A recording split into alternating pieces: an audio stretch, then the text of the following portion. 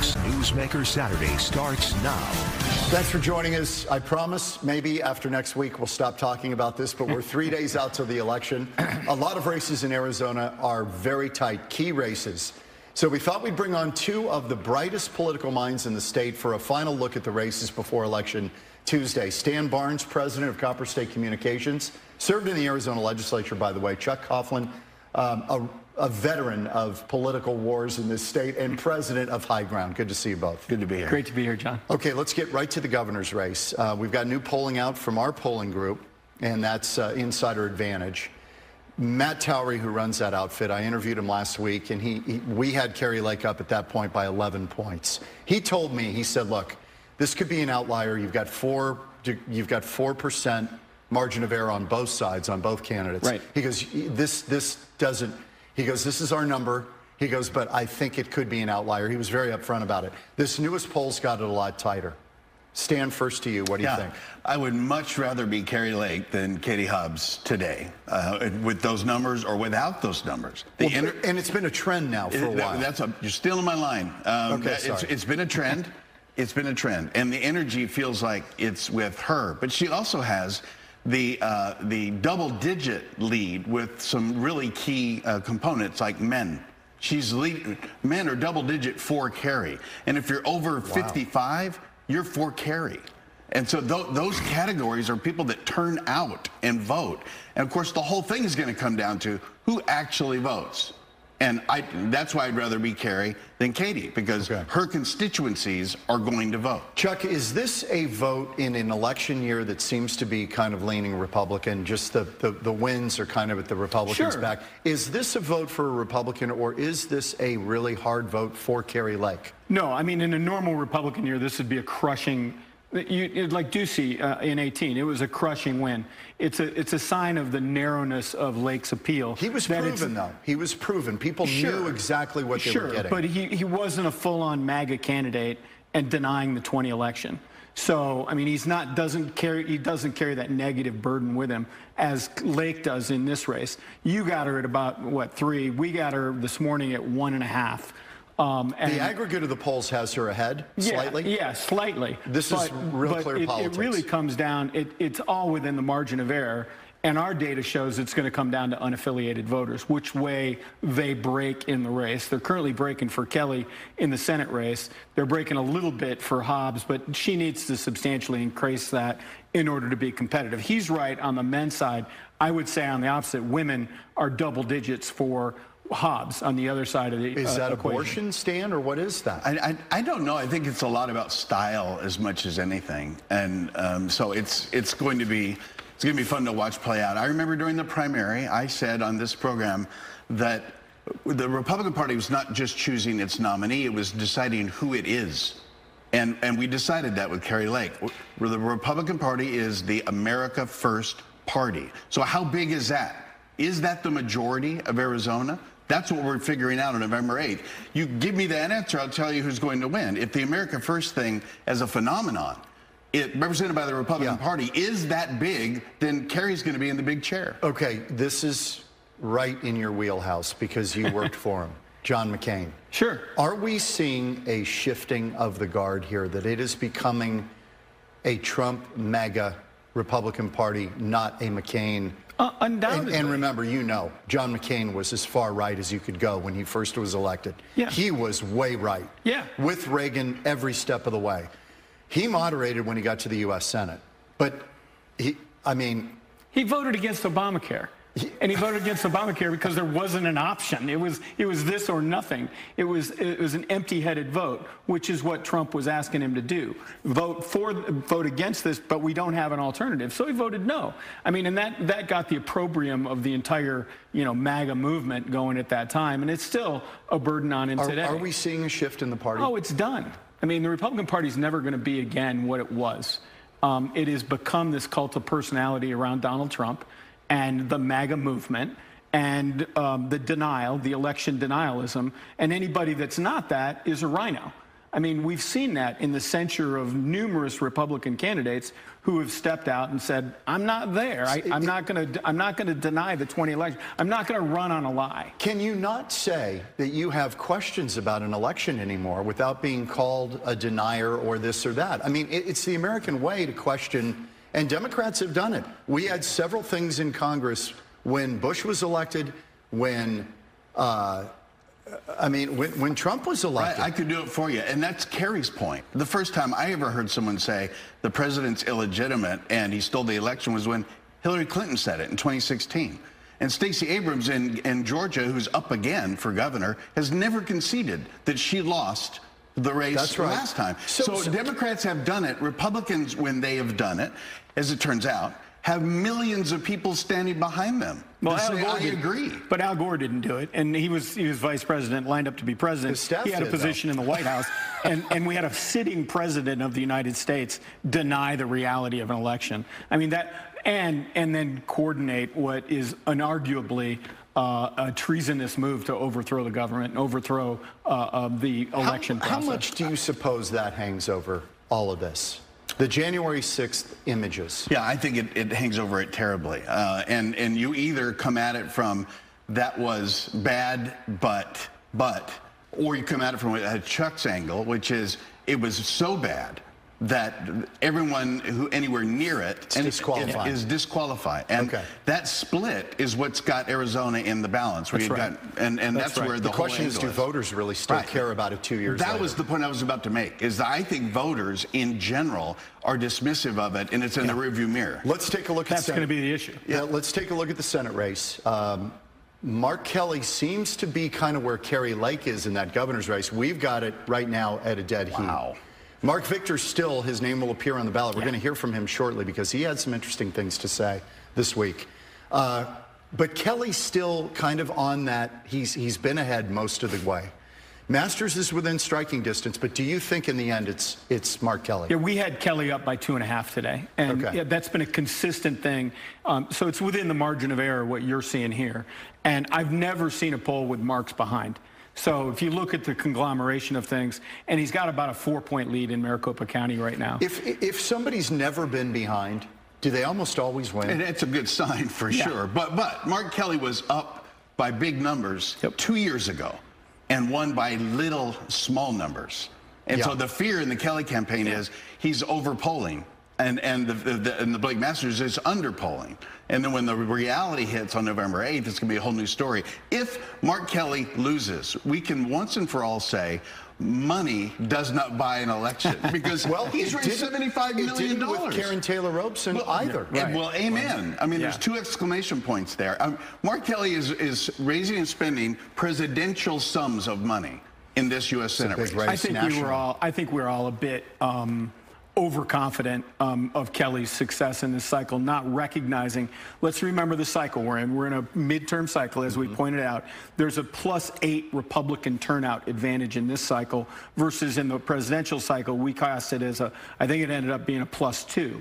So you have a much better chance in this cycle of a Republican winning because of the overperformance of Republicans versus Democrats. They're more energized. That's why I say it comes down to unaffiliated. I voters. want to play the Marc Victor sound because, and I got a lot of heat for it, but I asked him flat out, and you'll see it, about whether anybody paid him off to get out of the race. Yeah. To me, that's the million dollar question, literally. Right. Because people were talking about it, saying, what would compel a guy to leave this late in the race? So take a look. This is Marc Victor, libertarian, dropping out of the Senate race this week. And this is a guy garnering anywhere from 2 to 6% of the vote, if you believe the polls. Here's Marc Victor. So you had an unscripted, as I understand it, unscripted and recorded conversation with Blake Masters hashing this all out.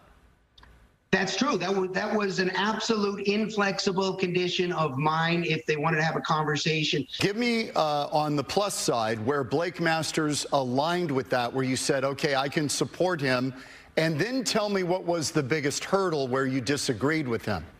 Yeah, fair questions. People should watch the interview. It's only about 20 minutes long. They can make their own decisions. But virtually everything in the economic realm, sound money, uh, lower taxes, uh, less spending, cutting the debt, all of that stuff. We, I think we were virtually 100% aligned on that. We need to get our financial house in order. On the civil liberties uh, side of things, I actually was pretty encouraged. I, he gave me good answers on uh, many issues, including immigration. I even talked to him about euthanasia. My most disappointing answer, where there was the most daylight between us, was the drug war. But he went pretty far to say that marijuana should be treated like alcohol and also that the federal government should be mostly out of the federal drug war. So there's a little bit of daylight between us on that. What I about the, the, uh, that- what about the 2020 election stuff?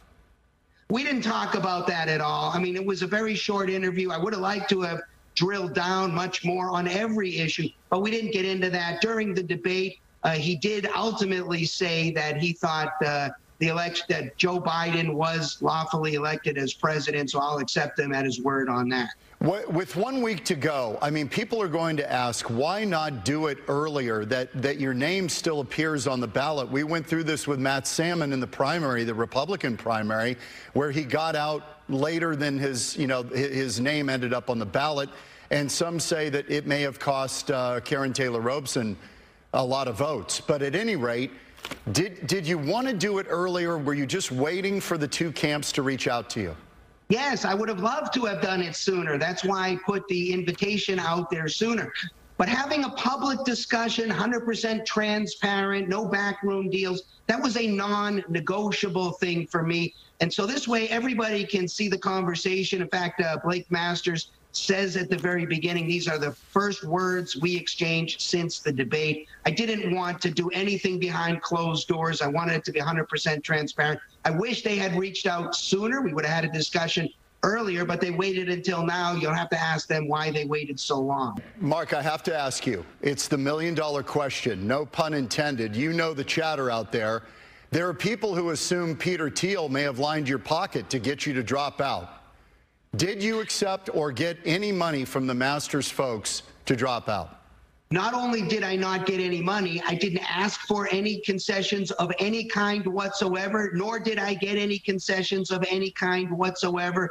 The only thing I wanted was a candidate who came on and did a public conversation with me and uh, laid out a whole bunch of positions on a whole bunch of issues to make me feel like that person was going to try to move our state and our country in a more pro freedom direction. So, to be super clear, didn't receive one dime, nor would I have accepted one dime. What I'm in this for is freedom, peace, and civility. Do you hurt the libertarian cause or the push that some people would like to see for a third party by pulling out? I don't worry about those things. I am a lone wolf. I speak for myself. I'm committed to advancing the cause of freedom, peace, and civility. No matter who likes it or who doesn't like it, I'm not loyal to any particular party. I'm loyal to those principles and those values, and uh, I'm not likely to ch- stray from them for any reason whatsoever. Okay, uh, this, these are the numbers right now. These are our numbers. I know the other numbers have it a little different, but Mark Kelly right now in a dead heat with Blake Masters, according to our polling by Insider Advantage. Just answer me, each of you. Um, we'll start with Chuck this time. Marc Victor dropping out. Is it a big deal to Blake Masters? Could it push him over the finish line? It certainly helps. It certainly helps um, getting that participation out. The thing, everybody, as you pointed out in the interview, his name's still on the ballot. So he's still going to draw down two to three percent of the vote, which eh, which be critical in a two, three, four, five point race. Okay, Stan? Yeah, the election between Masters and Kelly might be less than five digits of spread, right? There might be less than 10,000 votes between them. You tell me how many votes it's worth. I think it's worth every single vote. In other words, yeah, I think it actually might make the difference, crazy enough. Matt Towery, who does our polling with Insider Advantage, he told me if I were Blake Masters right now, I would be running ads against Marc Victor. If this was a week ago because he said Marc Victor is taking votes away Yes. from Blake Masters. He said, I'd be going after him. Yes. right, and the Kelly, the, the Kelly campaign wanted him to stay fully engaged, right? But, because you know, that, the, funny thing about that is, though, That's exactly what Marc Victor wants.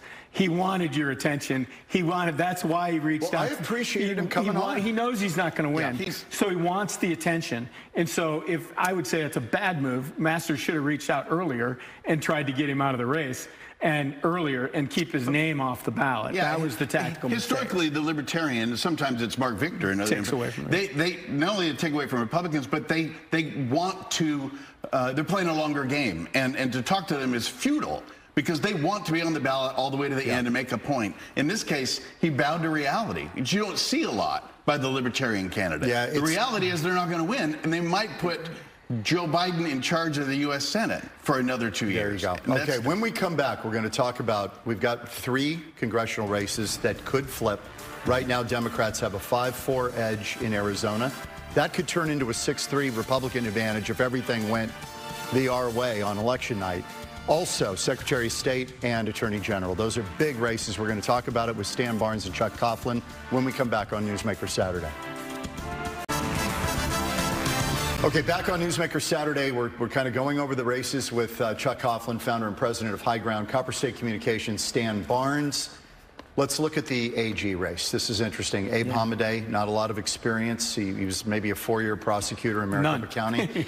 Kris Mayes, who's made a lot of her um, judicial experience at the Corporation Commission, but even people on the commission say that's not really a big thing with us. You're not a lawyer. You're not really a, a prosecutor. Who, Stan, who's got the edge here? I will say this: I'd rather in in a race where we don't know, I'd rather be the Republican candidate because the Republican wind is at the back is a real phenomenon. And I, but to, to your earlier point, the the there's a great deal of money being spent by Democrats because they believe they can overcome. And most of the television advertisement on, on your program and others is negative against Republicans, negative against Hamadeh, uh, negative against Finchem, certainly negative against Kari. But yet the races are all very, very close. So there's something there where voters either are numb or just not just don't want to get it. To the election denialism stuff. Yeah. Um, well, I mean that that's that, that, that's one of these issues that gets weighed in the balance of things. You know, between immigration, inflation, uh, election denialism, and and reproductive rights. You know, where is a voter's mind at, and how do they? And everybody filters those different Hasn't ways. the polling told us it is economy? Yeah, and, no, it is. But and- in Arizona, in Arizona, we've had a lot of wind at our, uh, a lot of issues about. We've got a whole MAGA ticket. I mean, you got a whole election denial ticket, and we've had this issue of. Uh, uh, reproductive rights on the front page of the newspaper that's still in front of the Su- Supreme Court right now. Yeah, I think the average voter takes a lot less seriously the election denier label. I, it, am- among insiders and echo chambers and consultants, it's a very big deal. And Democrats uh, don't have a lot to talk about, so they love talking about that because they think it sticks. But I think the average guy on his couch has got his own opinion, and it's just a smaller issue compared to the bigger I, issues. I Yeah. also sense that that's two years ago now. Yeah, I I- I- agree. Is this top of mind for just ordinary folks going to work in the morning? Well, Barack Obama was here this week to say that democracy's hanging by a thread if you elect these Republicans in Arizona, and that's a the- national the, story. The, the notion is, and it's a correct notion, is we can't solve all of our problems unless you trust elections.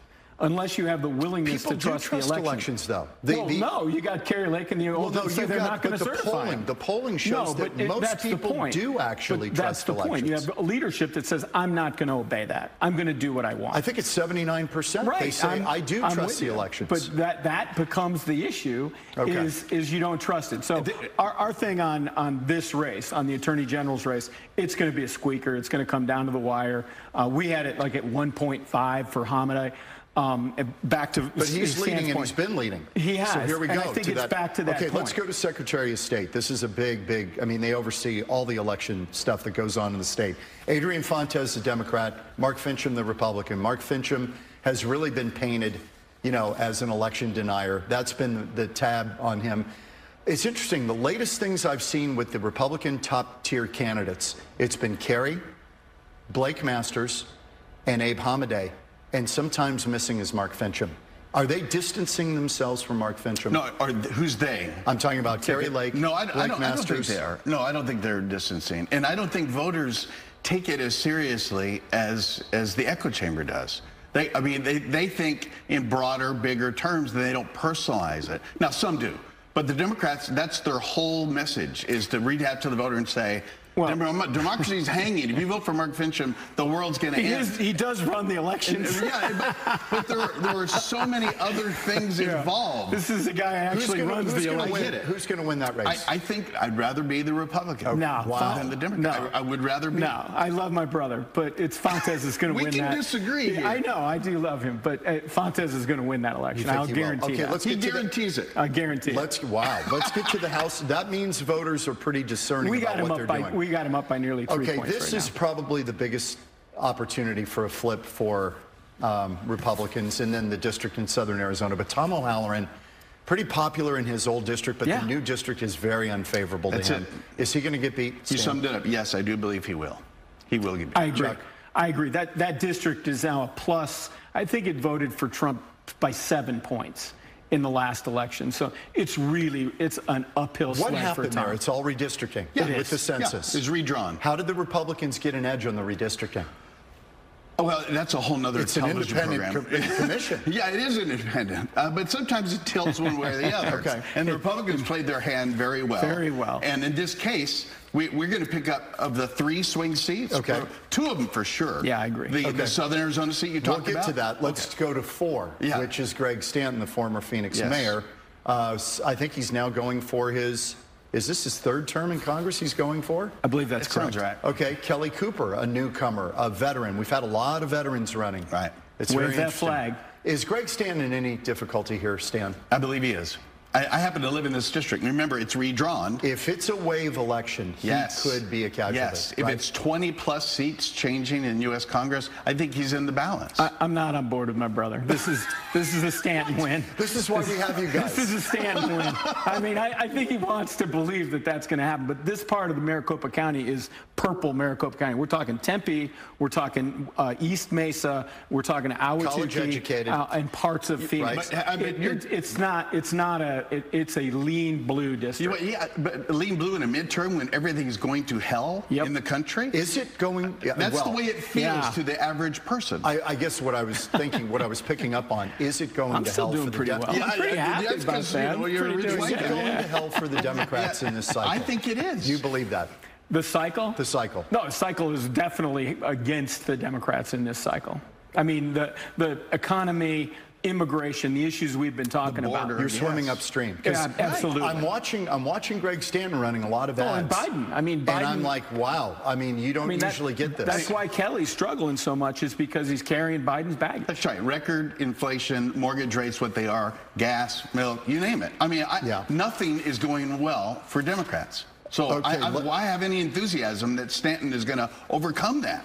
It's not in our area of dominant influence, No. but Congressional a- District 6, Pima County, most of Tucson, Cochise County, and Kirkpatrick retiring. Juan Ciscomani, who's getting a lot of good press. Mm-hmm. People are impressed with this guy. Uh, Kirsten Engel, who I don't know as much about. What, what's going to happen here? Yeah, Kirsten Engel's one of the nicest people ever to serve in the Arizona legislature, but she's going to get beat because the district is a Republican district, and Ciscomani is a great candidate. And so that's going to be a net flip. Kirkpatrick's leaving the Democrat. Juan Ciscomani is going to be the victor.